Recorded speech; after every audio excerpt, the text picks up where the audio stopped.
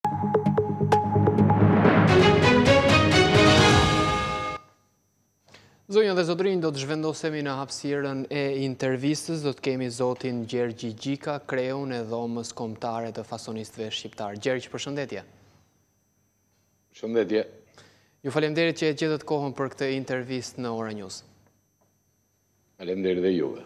Ditën e sotme, kryeministri Edi Rama ka deklaruar se në fillim javën e ardhshme faktikisht do të publikohet një paketë e zgjeruar për mbështetjen financiare, ku do të përfshihet edhe biznesi fason. A jeni në dijeni të këtij fakti dhe çfarë nënkupton për biznesin fason?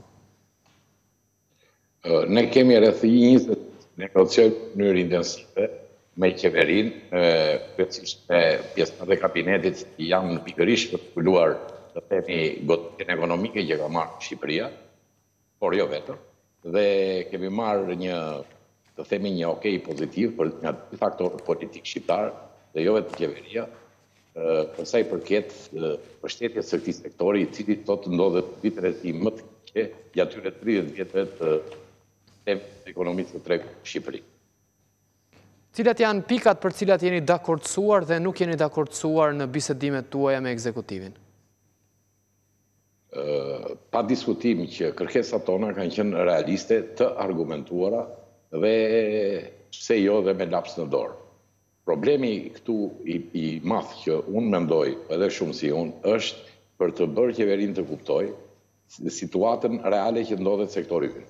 Unë nuk marr përsipër të flas për të gjithë sektorët e ekonomisë, paçka se në parim jemi dakord me të gjithë shoqatat dhe kërkesat e tyre apo dhomat e tregtisë në Shqipëri që kemi dhe firmosur një, le të themi një pakt të përbashkët, Por në parim ne jemi dakord me të gjitha kërkesat e biznesit, por unë po flas tani për sektorin tonë. Dhe sektori ynë ka një element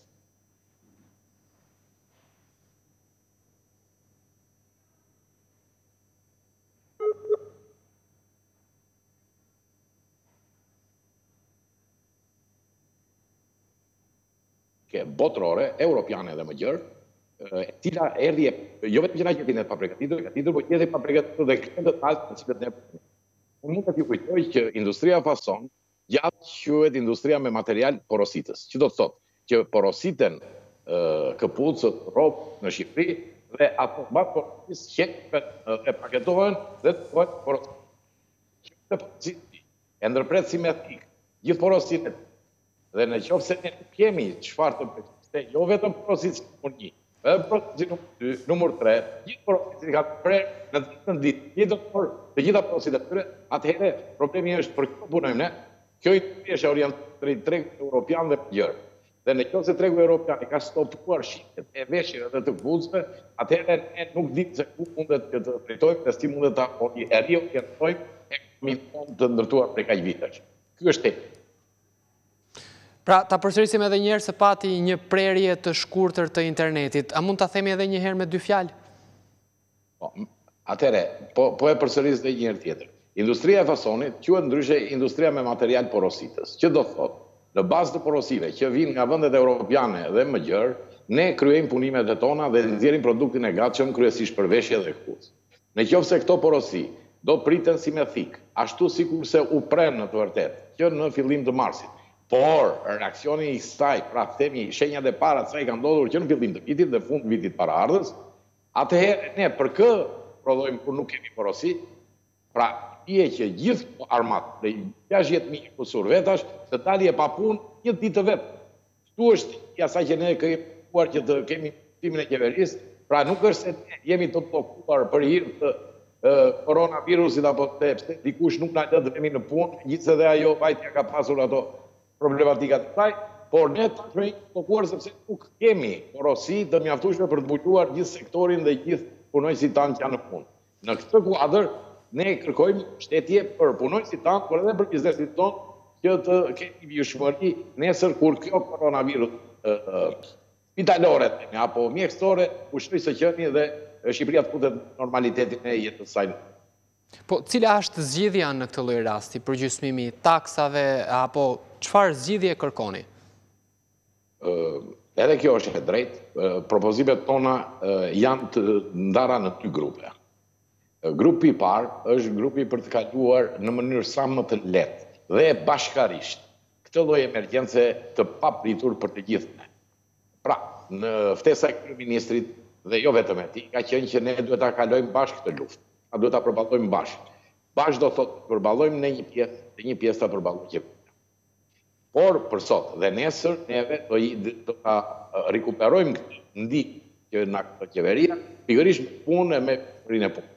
Sepse në qoftë se ne nuk do të kemi këtë vijueshmërinë e punës, vërtet që edhe ato ndihma monetare apo financiare apo siç thatë ju taksa e tatime që mundet të hiqen fare, nuk do kenë më vlerë sepse ndërmarrjet nuk do jenë efikase. Pra kjo është pjesa e parë. Të kalojmë po. të lutë fëmije në mënyrë sa më të lehtë të mundshme. Aq sa e kemi në takatin, si ekonomi shqiptare. Dhe pjesa e dytë e propozimeve tona ka të bëjë me vijueshmërinë e kësaj pune pasi kjo koronavirus të largohet nga Shqipëri. Shenjat e para dje i dha kryeministri që tha që do fillojë të lirohet fasha, ë, pra do fillojë të lirohet karantina gradualisht, që është shenjë shumë e mirë për të gjithë ne, një lajm i gëzuar. Por nga ana tjetër, ne duhet të përgatitemi që jo vetëm të kemi vetëm lëvizshmëri më normale se sa e kemi sot, por ama të kemi dhe një vijushmëri të situatës ekonomike të viteve të fundit në mënyrë të tillë që të mos pengohet as rritja ekonomike e Shqipërisë dhe as punësimi në vend. Ku ka qenë thelbi për këtë të... Po e kuptoj, zoti Gjika, sa punonjës janë aktualisht në biznesin fason në Shqipëri? Sa punëson biznesi fason? Në bazë të dhënave tona, ne kemi një shifër rreth 70.000 të punësuar në këtë sektor, në të organizuar në mbi 720-730 ndërmarrje, dhe kjo, kjo krizë, do të godasi mbi tetëdhjetë, tetëdhjetë e pesë për qind të këtij sektori, që do të thotë mbi pesëdhjetë mijë veta, mbi pesëdhjetë mijë veta brenda këtij muaji do dalin pa punë. Dhe këtu ka qenë gjithë thelbi ynë që ne kemi diskutuar që në muajt paraardhës që t'i dalim kësaj të keqe përpara. Çdo ditë që humb është në disfavorin edhe tonin edhe të punonjësve tanë.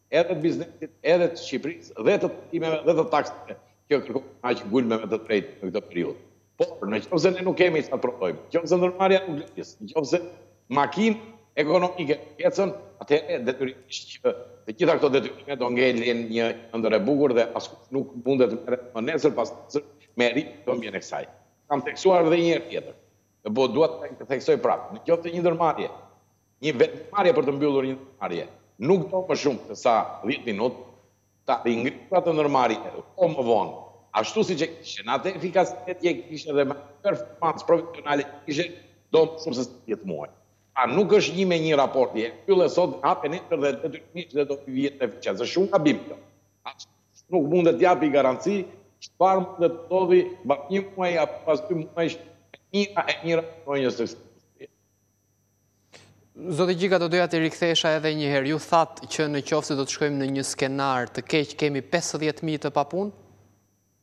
Po, pa diskutim. Nuk këta njerëz që punojnë në këtë sektor, duke na futur dhe ne brenda, që merremi me këtë punë, nuk dimë edhe nuk jemi të pregatitur të bëjmë punë tjetër. Ne nuk mundet që këtë lloj industrie, pra industria e prodhimit veshje dhe këpucëve të kthehet në industri për të bërë reçel. apo për të bërë komposto. Kjo lloj industrie i përgjigjet vetëm këtij sektori, prodhimit industrial të veshjeve dhe këpucëve, e cila deri dje ka qenë e destinuar për tregun europian dhe më gjerë. Në në momentin që këto janë mbyllur, si dhe të gjitha dyqanet, të gjitha shitjet, ju e dini shumë më mirë se unë se punoni në media, janë mbyllur në Europë të gjitha, atëherë nuk ka konsum më, nuk ka shitje, pra nuk ka prodhim. Dhe në këtë kuadër cikli mbyllet tek kjo hallka më e dobët jemi ne, pra ne nuk kemi prodhim. Të gjithë këta njerëz janë të angazhuar me këtë prodhim dhe të destinuar prej vitesh të punonin me material porositësi të me preferencën e ofertës ditore të Europës, po, po edhe shtete të tjera, tashmë në mënyrë të papritur dhe të menjëhershme është ndryshuar gjithçka. Nuk po bëj fajtor sepse ne e dimë që fajtori është një dhe vetëm një është situata e koronavirusit. Por, ne duhet e kemi për detyrë që të kontribuojmë në këtë situatë në mënyrë që dëmi dhe goditjet të jenë sa më të lehta. Dhe këtu kanë synuar të gjitha propozimet tona për sa i përket kalimit të situatës. E kuptoj. Ka një nismë të qeverisë e cila del garante në rast se bizneset marrin kredi në bankë. Si ju duket kjo nismë? Tani, kjo është një kredi e cila ka disa elementë që duhet të diskutojmë. Në parim merret shumë e drejtë, sepse edhe qeveritë e vendeve të tjera, zbatojnë pak a shumë njëjtë. Por, çuditërisht, ne kemi futur disa elementë që unë do t'i quaj elementë shqiptarë. E para, elementi shqiptar është përqindja e bankës deri në dy pikë tetëdhjetë e pesë për qind, është një përqindje, dua të them, me pa ballë bashka, përqindje skandaloze. Në qoftë se ne do sakrifikojmë të gjithë në këtë periudhë, duhet të sakrifikojmë nga fitimet e tyre edhe bankat. Unë po ju garantoj juve që bizneset e kalibrit tonë, që marrin një milion, dy milion, pesëqind mijë euro kredi, e kanë këtë normë interesi tash të ofruara nga bankat para koronavirusit. Pra nuk ka tolerancë për sa i përket për Është e njëjta normë interesi, zoti Gjergji. Pra nuk ka ndryshim në normën e interesit. Norma e interesit të themi atëherë po bëjmë një marrëveshje që mos të krijojmë shumë është shumë shumë pak më e ulët se ajo normalja që mundet të vesh në bankë dhe të marrësh kredi. Dhe ju e quajtët çudia shqiptare, rast shqiptar këtë. Pa diskutim është tipik. Në qoftë se ne do shohim.